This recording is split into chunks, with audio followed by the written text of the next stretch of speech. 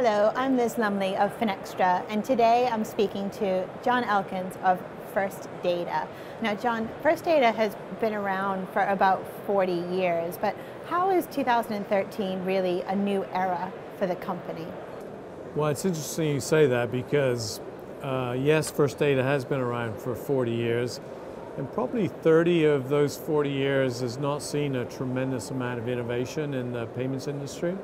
Certainly, we've uh, done innovation uh, in the card and processing business, but I think you're seeing a transformation in the whole payments ecosystem.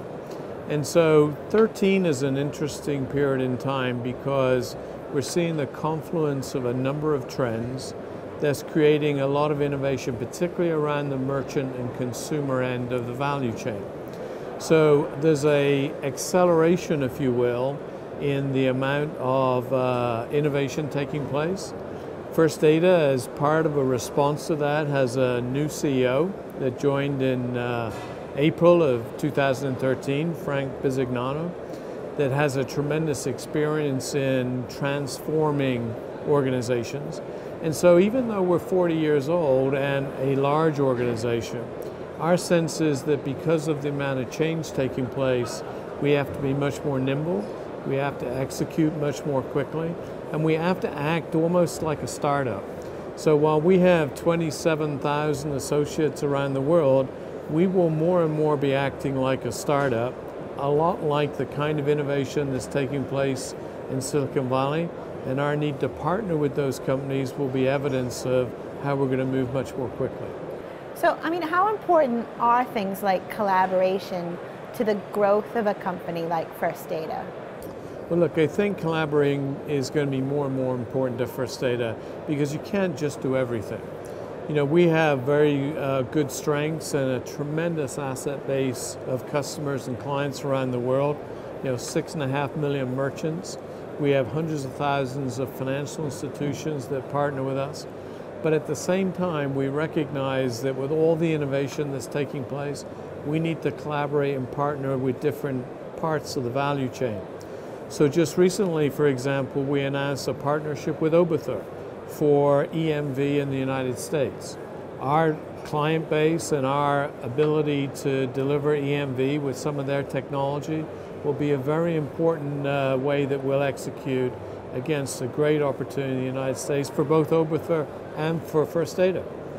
For example, we've just uh, recently purchased a company called Clover, where we have uh, together developed a whole new point of sale system that's an open architecture, that's app based, that actually responds to this ecosystem that I was describing.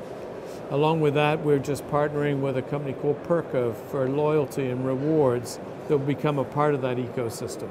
So our sense is that while we've got great customers and uh, a great business around the world, we still need to partner with other companies too, particularly in the area of technology where it's moving very quickly and in some cases it's easier for us to partner than necessarily develop everything ourselves. So you mentioned a, a, few of your partnerships. You know, what, what are some of the strategies that First Data uses to find a partner? You know, what are you looking for? So it's a very good question, and we are very diligent about the kind of organizations that we look at. For example, in assessing the best partners for the new point of sale, the MPOS that we've been talking about, we valued and looked at over 60 partners that had some kind of solution.